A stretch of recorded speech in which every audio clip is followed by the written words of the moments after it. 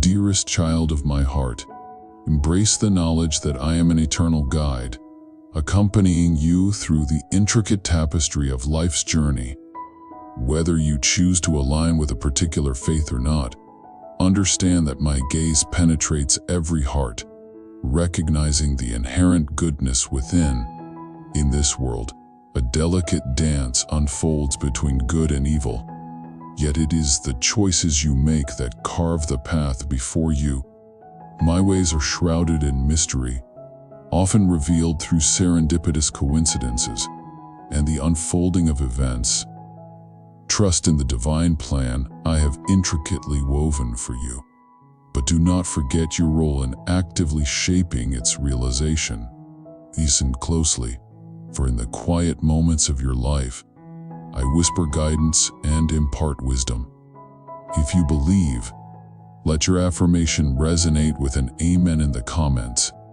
Consider the tale of Job, who faced unfathomable suffering yet found solace in our relationship.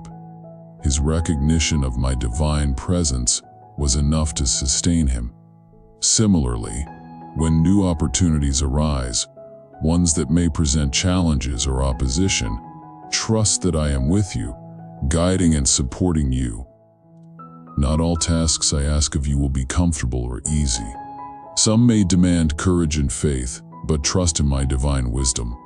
For each endeavor carries a purpose within the grand scheme of things.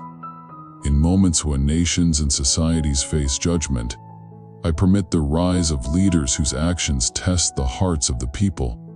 This is an opportunity for reflection, a chance to turn towards righteousness, unity, and justice.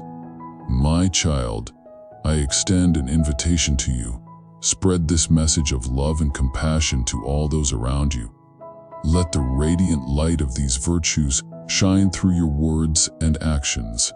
Know that I am ever present, guiding you with love and wisdom. Trust in our journey together, navigating the complexities of life.